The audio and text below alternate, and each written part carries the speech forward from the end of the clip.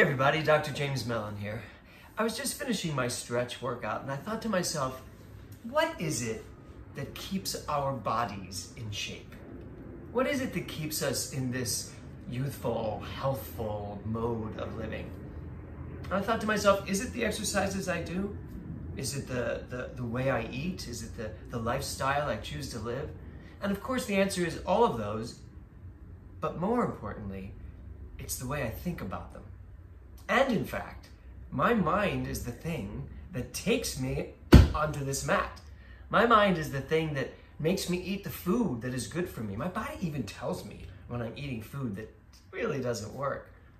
So, June 1st, I start the next round of BODS, building our dynamic selves. And it starts on the inside out. It starts with the mind, and the mind brings forth that which the body is ready, really ready to embrace.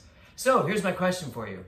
Are you ready to embrace a more exhilarating, a more productive, a more healthful way of living? Then take a look at BODS. See if you don't want to spend the month of June with me. Because the truth is, what we focus on expands. And when my mind goes to get on the mat and stretch your body out or eat something healthy today, when I think that way, when I have those thoughts and I act upon them, then my life follows that perfect route of unfolding in this healthful, vibrant way.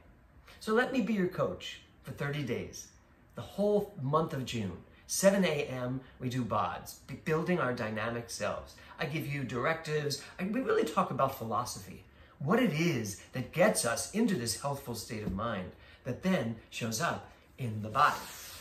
So there you go.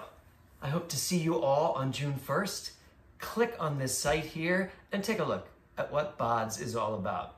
I think you might find it might just be the very thing that kickstarts your summer. All right, everybody, have a great day. Namaste.